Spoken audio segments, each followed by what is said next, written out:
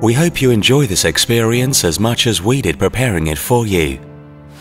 Open your aligner box and look for your aligner bag with a number 1 on it. It contains the upper and lower aligner. Unzip the bag.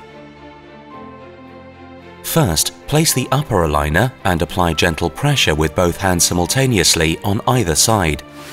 Then, do exactly the same with the lower aligner. Before applying pressure with your teeth, make sure the aligner is fully seated and in contact with all your teeth.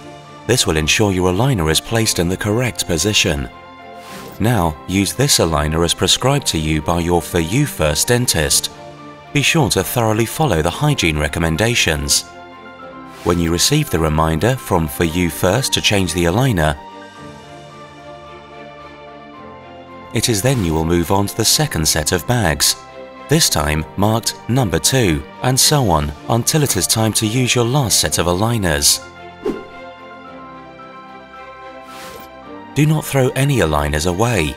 When you continue to the next set of aligners, please use the sealer bag of the previous aligners to store them in. They are sometimes needed to make necessary corrections in cases where teeth don't move as predicted.